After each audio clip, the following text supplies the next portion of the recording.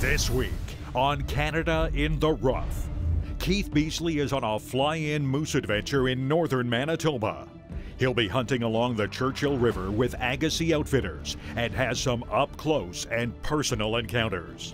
This week on Canada in the Rough.